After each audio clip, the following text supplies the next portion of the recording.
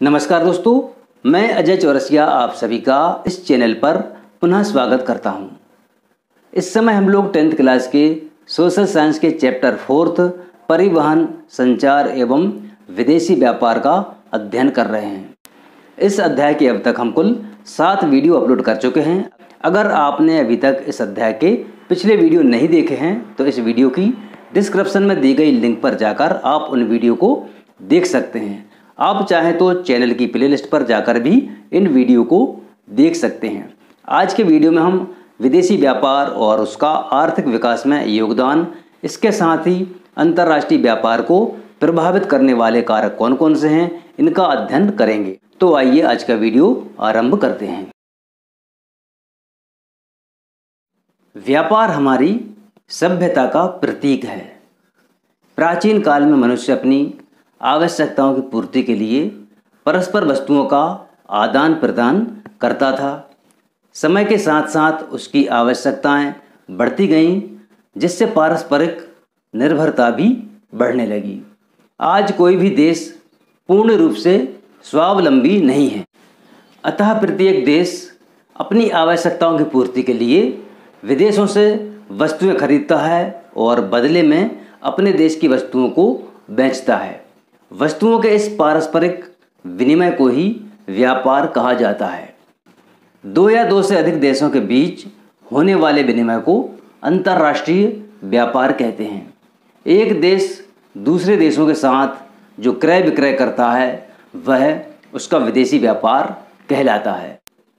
प्राचीन समय से ही भारत एक महत्वपूर्ण व्यापारिक देश रहा है, परंतु औपनिवेशिक सरकार द्वारा अपनाई गई वस्तु उत्पादन व्यापार और सीमा शुल्क की प्रतिबंधकारी नीतियों का भारत के विदेशी व्यापार की संरचना, स्वरूप और आकार पर बहुत अधिक प्रतिकूल प्रभाव पड़ा।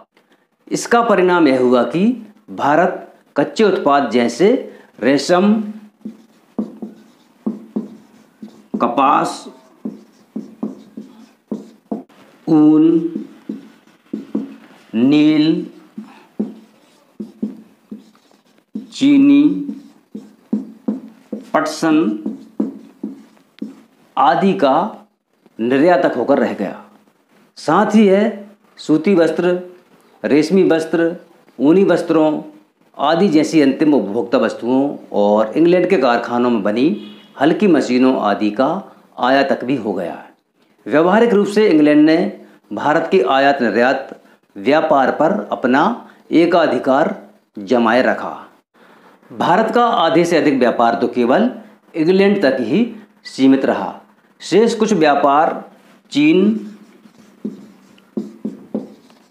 श्रीलंका और ईरान।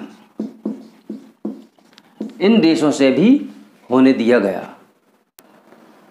स्वेज नहर का व्यापार मार्ग खुलने से तो भारत के व्यापार पर अंग्रेज़ी नियंत्रण और भी सख्त हो गया। विदेशी शासन के अंतर्गत भारतीय आयात निर्यात की सबसे बड़ी विशेषता निर्यात अधिशेष का बड़ा आकार रहा। किंतु इस अधिशेष की भारतीय अर्थव्यवस्था को बहुत भारी लागत चुकानी पड़ी। देश के आंतरिक बाजारों में अनाज, कपड़ा और मिट्टी का तेल जैसी अनेक आवश्यक वस्तुएँ मुश्किल से उपलब्ध हो पाती थीं। यही नहीं, इस निर्यात अधिशेष का देश में सोने और चांदी के प्रवाह पर भी कोई प्रभाव नहीं पड़ा। वास्तव में इसका प्रयोग तो अंग्रेज़ों की भारत पर शासन करने के लिए गढ़ी गई व्यवस्था का खर्च उठाने में ही हो जाता था। वर्तमान समय में अंतर्राष्ट्रीय व्यापार का बड़ा महत्व है। कोई भी देश बिना विदेशी व्यापार के उन्नति कर ही नहीं सकता। वस्तुतः अंतर्राष्ट्रीय व्यापार आज किसी देश की आर्थिक स्थिति का मापदंड है। जिस देश का अंतर्राष्ट्रीय व्यापार प्रति व्यक्ति अधिक है, वही देश उन्नत समझा जाता है। जिन देशों का प्रति व्यक्ति औसत व्यापार कम होता है, वे आर्थिक दृष्टि से पिछड़े हुए देश माने जाते हैं। विदेशी व्यापार का आर्थिक विकास में योगदान इस प्रकार से रेखांकित किया जा सकता है। इससे देश स्वावलंबी बन जाते हैं। स्थिति जलवायु, भूमि की प्रकृति तथा अन्य कारणों से जो वस्तुएँ देश में उपलब्ध नहीं होती हैं, उनकी पूर्ति विदेशी व्यापार से संभव है। इससे औद्योगिकीकरण को बल मिलता है। कच्चे माल और शक्ति के साधनों की आपूर्ति विदेशी व्यापार से संभव हो जाती है। इससे कृषि विकास की प्रबल संभावनाएँ निर्मित होती हैं। उन्नत तकनीक एवं बीजों की आपूर्ति से कृषि विकास को बढ़ावा मिलता है। इससे विदेशी मुद्रा प्राप्त होती है, जिसका उपयोग राष्ट्र के आर्थिक विकास में किया जाता है। इससे उद्योग एवं कृषि में रोज़गार के अवसरों में वृद्धि होती है। इससे बाज़ार में वस्तुओं की विविधता देखने को मिलती है। उपभोक्ता अपने जीवन स्तर को उन्नत कर सकता है। विभिन्न देशों से वस्तुएँ प्राप्त कर, बाढ़, अकाल, महामारी, भूकंप आदि के विनाश से लोगों की रक्षा की जा सकती है। इससे मूल्य वृद्धि नियंत्रित होती है, श्रम विभाजन को भी बढ़ावा मिलता है, जो आर्थिक विकास का परिचायक है। आइए अब हम अंतर्राष्ट्रीय व्यापार को प्रभावित करने वाले कारकों की चर्चा करते हैं। व्यापार पर अनेक प्राकृतिक, आर्थिक राजनीतिक और सामाजिक परिस्थितियों का प्रभाव पड़ता है।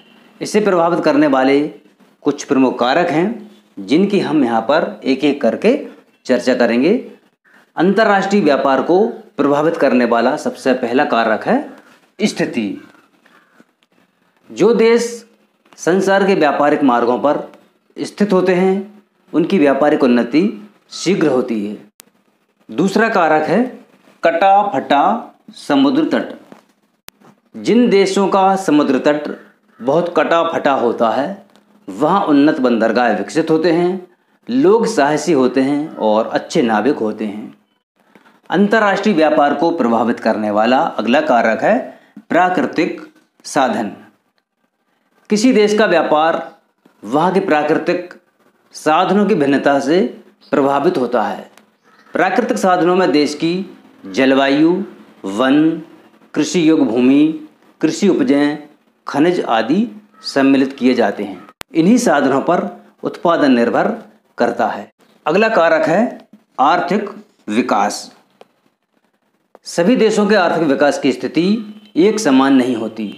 जो देश आर्थिक प्रगति में आगे हैं, उनका व्यापार अधिक उन्नत होता है। अंतर्राष्ट्रीय व्यापार को प्रभावित करने वाला अगला कारक है सांस्कृतिक भिन्नता। संसार के सभी देश सांस्कृतिक रूप से समान नहीं हैं। विभिन्न देशों में सामाजिक एवं आर्थिक दृष्टिकोण रहन सहन रीति रिवाजों रुचियों में अंतर पाया जाता है।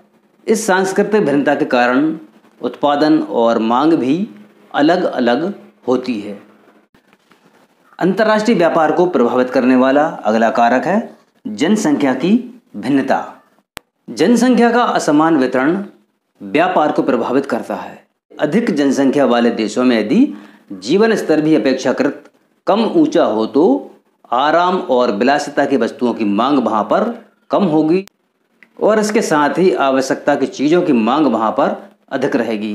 कम जनसंख्या वाले देशों में लोगों का जीवन स्तर ऊँचा होता है, अतः आराम और विलासिता की वस्तुओं की मांग वहाँ पर अधिक होती है।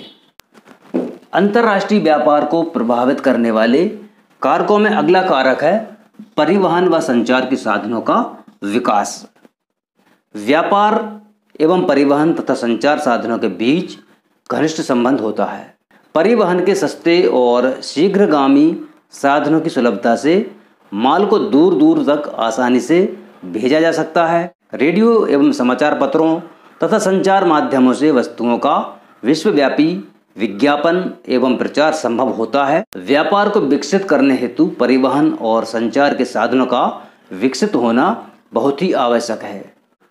अंतर्राष्ट्रीय व्यापार को प्रभावित करने वाले कारकों में अगला कारक है व्यापारिक नीति। राजनीतिक और आर्थिक कारणों से विभिन्न देशों की व्यापारिक नीतियाँ भिन्न भिन्न होती हैं।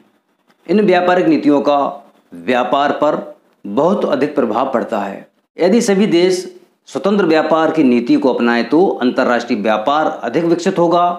प्रत्येक राष्ट्र को आर्थिक विकास के लिए अपने यहाँ के उद्योगों को संरक्षण प्रदान करना ज़रूरी होता है। इसलिए विदेशी माल के आयात पर चुंगी लगाई जाती है। अगला कारक है शांति। अंतर्राष्ट्रीय व्यापार का विकास शांति के समय ही हो सकता है। युद्ध एवं अशांति से व्यापार को क्षति होती है। अंतर्राष्ट्रीय व्यापार को प्रभावित करने वाला अगला कारक है राजनैतिक विचारधारा। अंतर्राष्ट्रीय व्यापार समान राजनैतिक विचारधारा वाले देशों में अत्यधिक उन्नत होता है। संसार में पूंजीवादी और साम्यवादी देशों के बीच व्यापार में कमी का कारण राजनीतिक विचारधारा का अंतर ही होता है। अगला कारक है सस्ते मूल्य। दो देशों के मध्य सस्ते मूल्य पर, वस्तुएँ उपलब्ध होने पर, दोनों देशों का आपसी व्यापार तेज़ी से विकसित होता है। ये थे अंतर्राष्ट्रीय व्यापार को प्रभावित करने वाले कारक। दोस्तों, मुझे उम्मीद है आपने विदेशी व्यापार और उसका आर्थिक विकास में योगदान और अंतर्राष्ट्रीय व्यापार को प्रभावित करने वाले कारकों को अच्छी तरह से समझ लिया होगा। अगर आपका कोई सवाल है तो कमेंट्स कीजिए, हम आपके हर सवाल का जवाब देने की कोशिश करेंगे। अगले वीडियो में हम भारत के विदेशी व्यापार और आयात निर्यात का अध्ययन करेंगे। अगर आप हमारा अगला वीडियो सबसे पहले देखना चाहते हैं तो इस चैनल को सब्सक्राइब कर लीजिए और बेल आइकन को दबाकर नोटिफिकेशन को ज़रूर ऑन कर लीजिए, जिससे कि हम जब भी वीडियो अपलोड करें, आपको वह वीडियो सबसे पहले देखने को मिल सके।